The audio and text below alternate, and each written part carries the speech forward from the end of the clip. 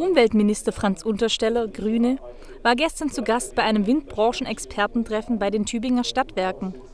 Die Mitglieder des Windcluster Baden-Württemberg hatten sich dort versammelt, um über den Stand der Windkraft im Land zu diskutieren. Der Windcluster Baden-Württemberg unter dem Vorsitz von Dr. Walter Döring ist im Mai 2011 gegründet worden. Inzwischen sind rund 70 Firmen und Organisationen eingetragene Mitglieder des Vereins. Sie haben sich zum Ziel gemacht, sich öffentlich für den Ausbau der Windenergie und auch für mehr Planungssicherheit im Land einzusetzen.